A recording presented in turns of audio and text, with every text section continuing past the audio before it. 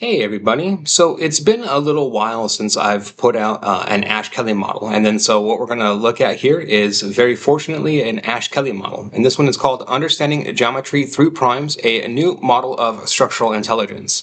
Uh, I don't have, uh, the notebook was shared with me directly, so I don't have permission to share the notebook directly with you. I've built a few things based off of this model. And then so uh, I'll showcase and, and showcase it all to you and share those with you. But 100% all of this is uh, architected, conceived of, etc. by Ash-Kelly. And then so I want that to be very clear and prominent within this. And then so within this, what exactly are we going to look at here? So within in conventional machine learning, models are often trained to classify or regress over data sets with arbitrary structure. While these methods can yield practical results, they typically rely on large volumes of data and lack true interpretability. Uh, the bottom line here, so I've gone over this a lot on my channel, right? Uh, it, it's all breaks down to the concept of the um, underlying geometry that these models learn off of. Essentially, you give them a data set they're not learning off of the data set itself, right? They're learning off of patterns of the data set and then things that they pull apart and pick apart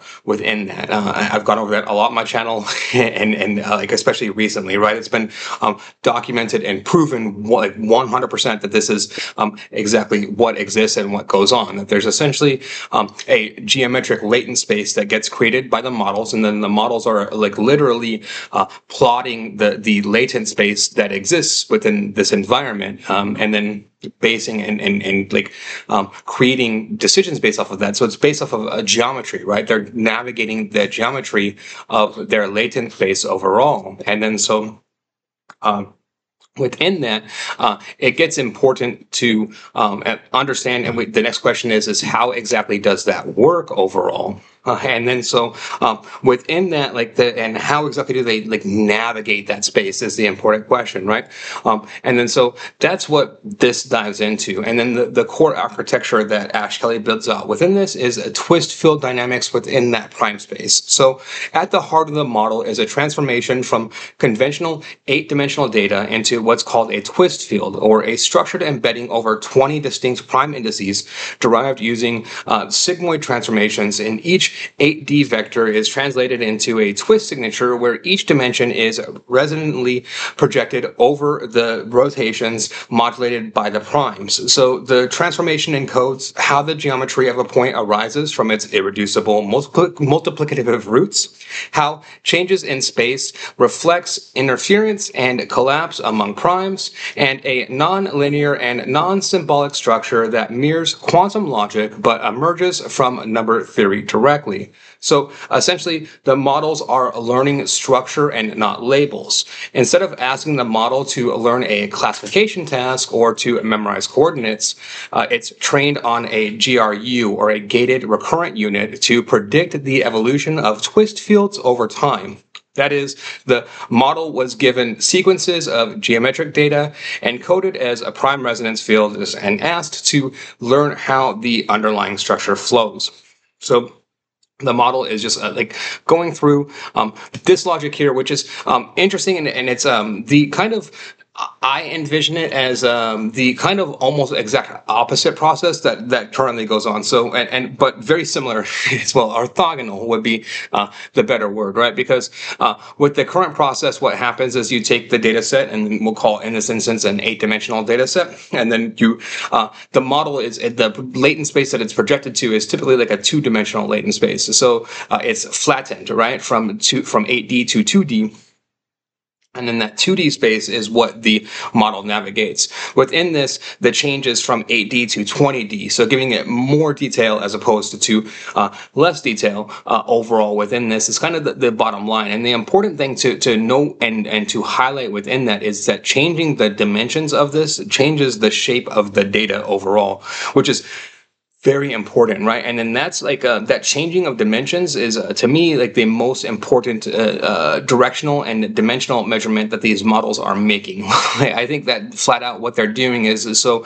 whatever you are um, embedding the uh, data set to start off with. So in this instance, uh, in eight dimensions, that's like their their the base starting point. Like right, like this is the the um, starting zone, and then from there it gets transformed from 8D to 20D, uh, and then the model is measuring that distance in between that and everything that, is that falls in between those things, right? And then that becomes very clear and very predictable for the model. And then you give it enough detail around that and enough examples of that, and it understands to, and it's able to predict that fully that that um, evolution from eight dimensions to 20 dimensions and exactly what would occur within the shape there. And that's essentially what we're looking at here, right? So uh, we uh, the first step is is that Ash Kelly trains the model uh, on uh, this uh, uh, this particular formula, and then the mean squared squared error is very low within this, right? This is, I mean, like like a lossless essentially, uh, like virtually lossless. Um, and then um, so the final uh, model evaluation is that the model takes to this training of this this distance measurement that is created very well overall. Okay, cool. Between 8D and, and 20D in this instance.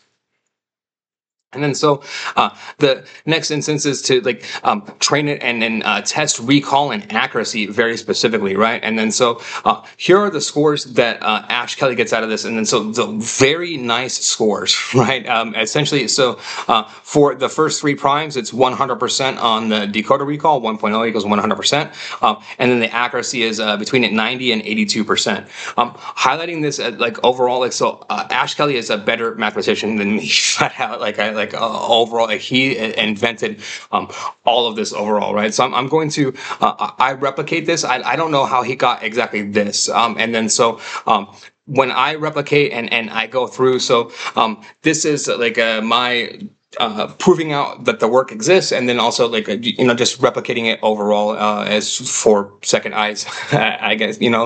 Uh, and then so um, within this uh, my notebook is uh, and explaining out what's going on in here is like kind of the the big idea in one sentence is that instead of training ai to memorize patterns like a student cramming for a test we're teaching it to discover the hidden mathematical laws that shape reality itself. And then so starting off with something like music you know how a guitar string makes different notes when you press different frets. Uh, each note has a specific frequency. Like for example, 440 hertz is A, 523 uh, hertz is C, uh, high C, etc. And uh, these aren't random numbers. They follow deep mathematical patterns that make music sound harmonious. And then so what if the entire universe works like this? What if everything from the shape of a flower to the orbit of planets follows hidden mathematical frequencies that we just haven't learned to hear yet.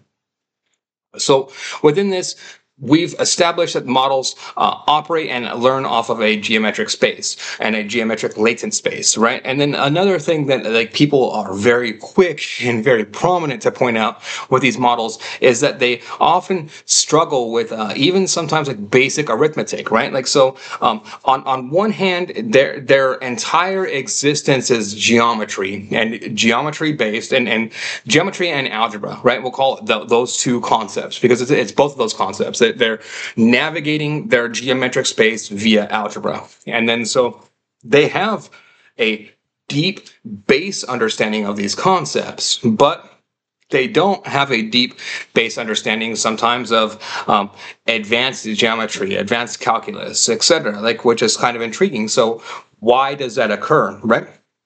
And then the uh, very first instinct would be just to like laugh at it and point it out, like the law, like uh, I can't count the number of R's in strawberry, right? Come on, like, and then so, but within that, like, why um, is the the bigger question, and then like you break down that why, and then to me, it be like the why is very simple if you like break it down philosophically right? To me the why is is that uh, half of math is real and half of math is not real. Like that's uh, i mean uh, like the most um, simplistic way of framing that that I could possibly think of, and I think that that framing gives Ash Kelly a lot of credit within that particular framing, right? Like um, that particular framing is very important overall to like knowing uh, Ash Kelly's methods, knowing this model, uh, like that is a, a core uh, part of this philosophical concept, right? Like none of this would work overall if that weren't true. Like so, it's debatable, philosophically debatable. Like, um, is that concept like uh, is that concept real, right? Like it's it's been a philosophical question my entire life: Is math real? Yes or no? And then I think we've started to come closer to that, and then like um, really started to reach the conclusion um, half of math is real and half isn't. There's some parts that are real and some that are human construct, right? Um, and then so within that, it's it's discerning and then proving that. And, and then so to me, these types of models, this type of research is just proving that. Like it's just proving it backwards, right? like uh, uh, uh, and uh, I can only speak for myself on this, but for me, like I don't care to be the discover of these things. Like I, I could not ever care less, right? Um, I care if it works and then why it works and then trying to to figure out and and break down and deduce that. And then this is just the um, simplest deduction that I've been and and Ash Kelly has been able to piece together as to uh, exactly why and how this is occurring. Um, and then these models just show like it works. it works in practice. Why does it work in theory? Uh, can leave that up to like PhD students to figure out. And then so within this, uh, the problem with today's AI, current AI is like a very sophisticated parrot. Essentially, you show it a million pictures of cats and it learns to recognize cats. You feed it a million billion sentences, it learns to write like humans. You give it chess games, it learns to play chess. But it's not actually understanding anything anything within that, right? It's just finding, well, it's finding the uh, patterns in the data, like recognizing that furry things with pointy ears are probably cats. And then so this approach has three big problems. One, you need massive amounts of data. Two, AI can't explain why it makes these decisions. And three, it fails completely when it sees completely something truly new. And then so how does this solve that? First of all, uh, we're utilizing what we'll call the universe's building blocks, which are uh, prime numbers, right? Um, and then these prime numbers, they just happen to be everywhere in nature. Cicadas em- emerge every 13 or 17 years. It's literally, uh, there's two groups of cicadas, right? Some some uh, uh, spawn every 13 years, some every 17 years. Both of them happen to be prime numbers. Sunflower seeds spiral in patterns based on prime related sequences, and then quantum physics involves prime like patterns. Like all of these uh, prime patterns within nature kind of just prove out as a starting point that uh, what if primes aren't just mathematical curiosities, but they're actually kind of like the the source code of a reality, if you will. And so um, within this, we, essentially, we train the model, or Ash Kelly trains the model to uh, speak prime, essentially. Um, so instead of showing the AI millions of examples, he taught it to translate everything into the language of prime numbers. So everything becomes a prime fingerprint. The AI learns the grammar of reality, um, and then the results showcase themselves. And so within traditional AI, what occurs is that it sees, so this looks like previous examples that I've memorized. It then thinks pattern matching based off of those statistics, and then it fails when it encounters something truly new. Whereas with prime-based AI, it sees that this has a prime signature of 2.3, 0.8, 1.7, 0.4, indicating specific mathematical relationships. So it's, I mean, uh, graph theory, what people want to do within that. And I've been a big proponent of graph theory overall, things like that. I just think that they're barking slightly up the wrong tree, right? I think that this is uh, more indicative of the graph theory that people should be implementing within these things. And I'm going to show you something very cool in just a second that, that comes out of this too, that uh, kind of backs that up, right? Um, and then so then therefore it takes that, that, that seeing what it sees within the prime number signatures and then it thinks. So according to the fundamental laws that I've discovered, this pattern should evolve in this specific way. Uh, and then it succeeds succeeds because it understands the underlying mathematical principles and not just the surface patterns. Like diving deeper into this, like so here's uh, you know the the the showcase of uh, the exact outputs here that I'm able to, to reproduce. Um, and then so I essentially I, I train the model. Uh, my loss rate is a lot higher than or starts higher than Ash Kelly's, but then goes down very significantly and very dramatically. I do only train it for 150 epochs, so that's probably what I do wrong here. I think uh, within this I should have trained it for a lot more epochs. But so even with 100 epochs, I'm able to match the the level two classification of 1.0. Uh, but my F1 score is uh, 0.77, whereas uh, Ash Kelly was getting like 0.90. So again, I think if I trained for 500 epochs or so, I'd fix these. But then my numbers go down dramatically. I think not training for long enough, but I get what the data that I need out of this, right? And this is like the the to me, this is the the the big visualization within this. I have a better visualization in just a second. But so uh, we have here that the data start. So on the left hand side, this is the original data set, right? And say that this is the the shape of the data set the model gets fed, and and, and then what we do or what this model does is it then utilizes this twi- prime twist field, and then it takes that eight dimensional vector and then it uh, turns it into a 20 dimensional vector, uh, and then based off of the first 20 prime numbers, and then you essentially get uh, each number like each uh, vector is assigned a unique number within this and then you get this unique calculation and this unique shape. And then so the model then learns the difference between this original 8d vector and this prime twist field right? Two very different shapes. And then these are both representative of the same exact thing. Like think of it like so on the left hand side it's in english on the right hand side it's in spanish and then it's just uh, it's translating the difference and finding the difference between between the two is like really kind of what goes on within that, right? And then so Ashkelly sent all of this over to me, uh, and then the very first thing that I wanted to do was like uh, understand and, and, wrap my head around exactly what I was looking at, right? So I do that, and I, I uh, first thing I do, I, I do that often with uh, like concepts, right? and so kind of one of the first things I'll do is I'll I'll pass it through a model to see what the model does with it, reflect on that, and then kind of go from there and build from there.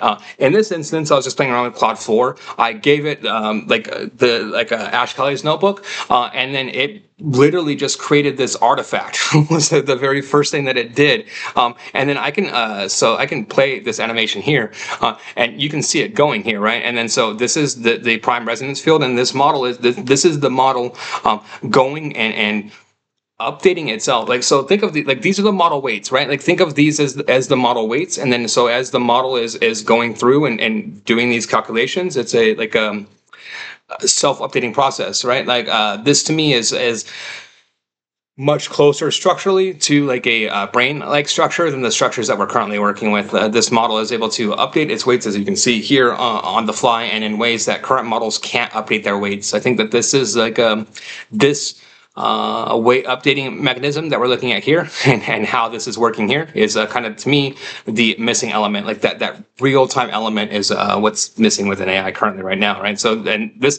visualization demonstrates how 8D ge geometric data transforms into a 20-dimensional prime resonance field. Uh, each prime creates a twist signature that encodes irreducible structural information. The GRU learns to predict how these twist fields evolve achieving extraordinary accuracy by capturing the underlying mathematical laws rather than memorizing patterns. And then so that's what essentially goes on here. And then you get a self-learning, self-referential uh, network that it, it, it you can literally see um, what's going on uh, within those equations and, and, and that balance overall. So super cool uh, to me uh, overall. And you can play with these things, right? And, and so uh, highlighting, if you play with these things, it's um, you just want to stop the animation and then start. Um, you know, part of AI coding, right? But uh, it like sees just stop and then start, uh, and it'll it'll improve. But so like this was made in like two seconds, so I can't complain overall about that that functionality.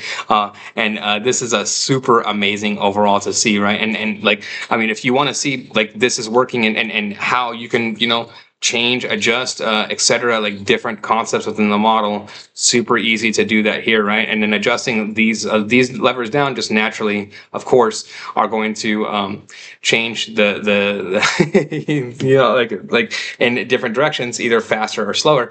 Uh, the way that the model updates overall, so you can you know like play around with it. Uh, I think it's super cool. So uh, I'll leave a link to both this notebook um, as well as uh, this artifact here, um, the original notebook, like Ashkelly's work. If you want to dive deeper into this, like Ash Kelly is the creator of the prime number neural network. So anything related to like uh, prime number neural networks, the prime number neural network, if I see this later in like Cornell or Harvard papers, etc., uh, Ashkelly is the original person that that was. Uh, this and so i'm like this is uh, ashkelly's work and i want to highlight that um, and then so Ash Kelly was um, fortunate and, and we were fortunate enough for Ashkelly to share it with Moonshot Labs. And then so here we are, but this is an Ashkelly project. And so if you like of content, please like and subscribe. Thank you very much.